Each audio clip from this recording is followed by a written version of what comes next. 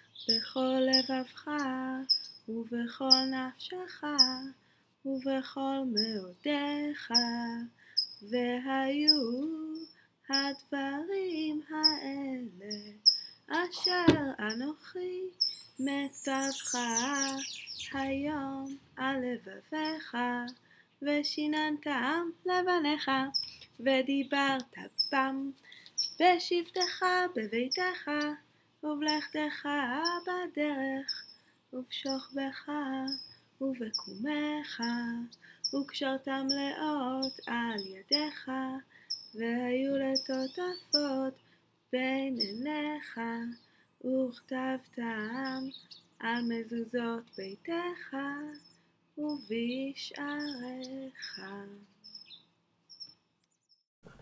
ומי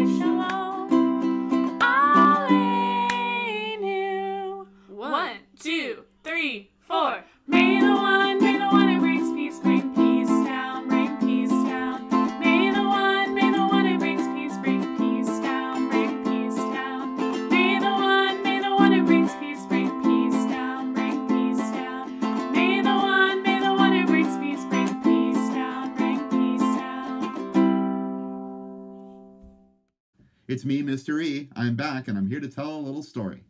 So let's get to it. The story is called Enough. Once upon a time, a poor young man and his young wife were celebrating. One moment. Judah, I need the name of a man and a wife. Um, Samuel and Lila. Samuel and Lila. Good names. So, Samuel and Lila were celebrating the Passover holiday in the way that they loved to celebrate, having the best meal they could. And they were poor. And when they finally got everything together, they raised their glasses on this beautiful night of Passover, ready to to sort of wish a l'chaim to one another. And just then they heard a knock at the door. Hmm, could that be? So Samuel and uh, Lila, they rush to the door, and who do they see? A beggar, a poor man, standing outside with his hand outstretched, saying nothing. They told him, You are welcome here. Please come and join us. We don't have much to eat or drink, but we have a wonderful story that we can share with you. So they shared their food and drink of what they had, and they shared the story of Passover. They shared about how their ancestors had been enslaved in Egypt and how they had been freed to seek out the promised land. The three of them stayed up for hours and hours and hours till late in the night talking and singing and and talked more about Moses and and and the go- and the burning bush and wow the stranger got more and more interested in the stories and they counted the 10 plagues that happened that struck Egypt when the pharaoh finally let people go and they sang about their freedom and finally when the candles were burning out and there were no more candles left to light the Traveler was ready to go. Please stay. Samuel and Lila told the traveler, You can sleep in our bed. We'll make ourselves a bed of hay. It's fine. Thank you so much for all your kindness, the beggar said, but I must continue on my journey. As he headed out the door, he smiled warmly and said, May the next thing you do have no end until you say enough. And he was gone. He'll need money on his journey, thought Lila. She reached into her pocket for the only money that she had one silver coin. When she took it out, she felt another coin in her pocket. Huh. So she took that one out, and then she felt another one. No matter how many times she pulled the coin out of her pockets, more appeared. Soon, they started piling up on the floor. It couldn't stop. It was spilling everywhere. Coins, coins, coins, coins, coins. Finally, the wife said, We have all the money we will ever, ever, ever need. This is amazing. You're right, said Samuel. It's enough. And that moment, when he said the word enough, there were no more coins in his pocket. The magic was over. They sat down and looked at their great fortune. You know, that was not any ordinary man, said Lila.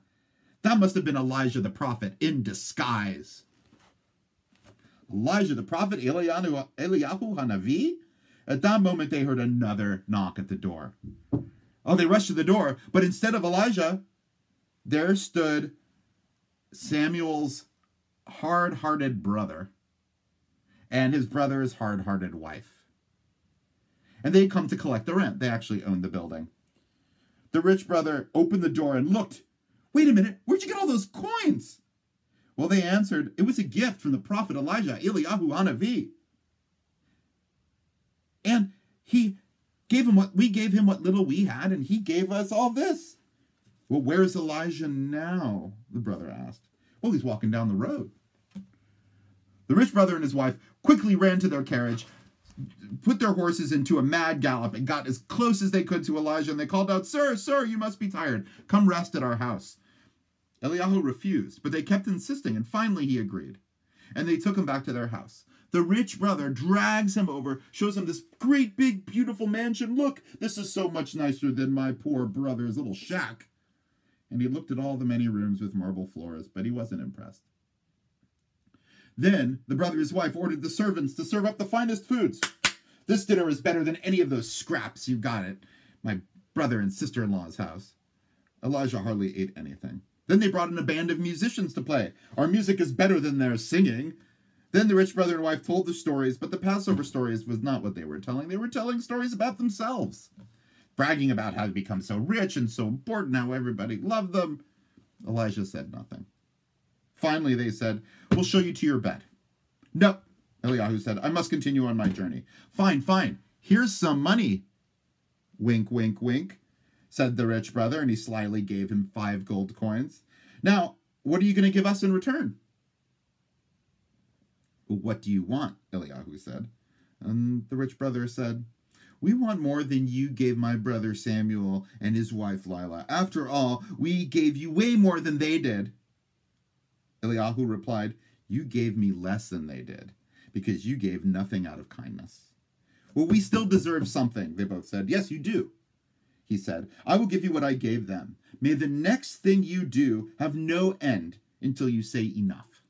He walked out the door, and when they looked for him, he was nowhere to be seen. The rich brother rushed back inside and was about to grab his money box so he could pull out one large coin. He said, Wait, wait, wait, wait. Let's make sure no one sees what we're doing.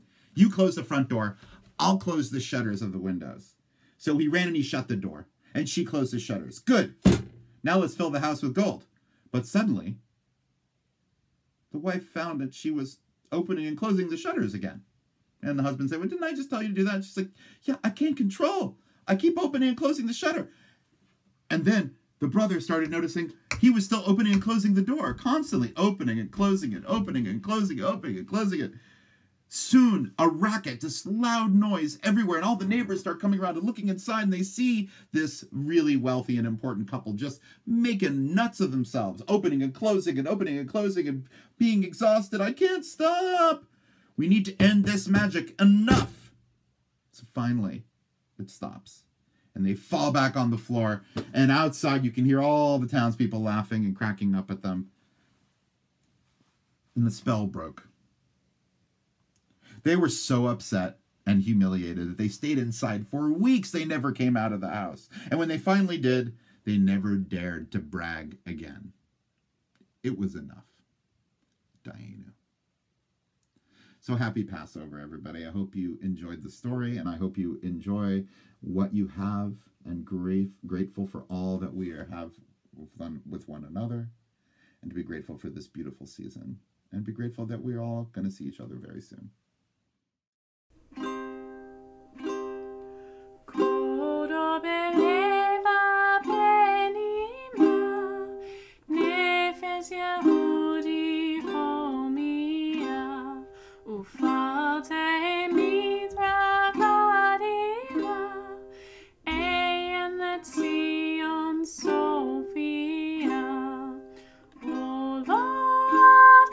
afta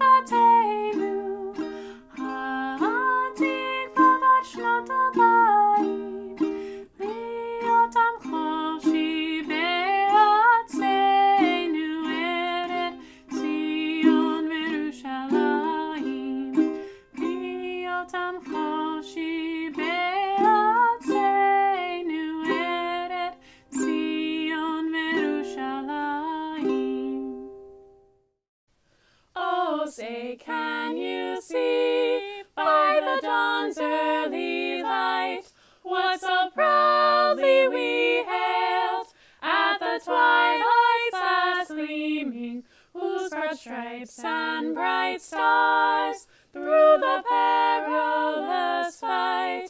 O'er the ramparts we watched were so gallantly streaming, and the rockets' red glare, the bombs bursting in